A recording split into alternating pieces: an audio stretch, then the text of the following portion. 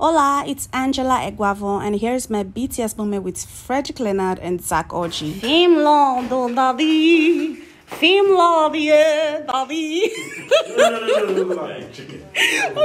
What you call me? Yeah, A turkey.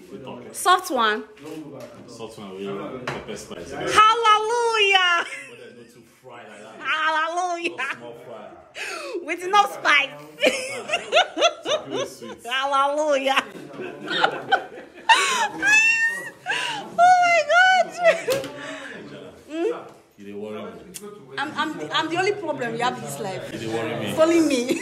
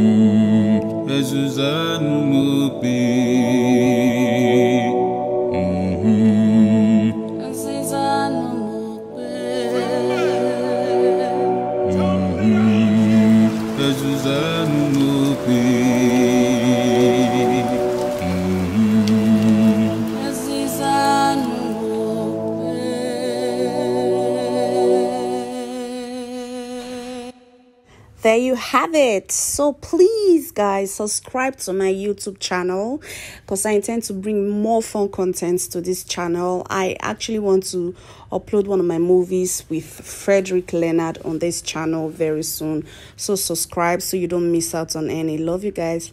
Bye.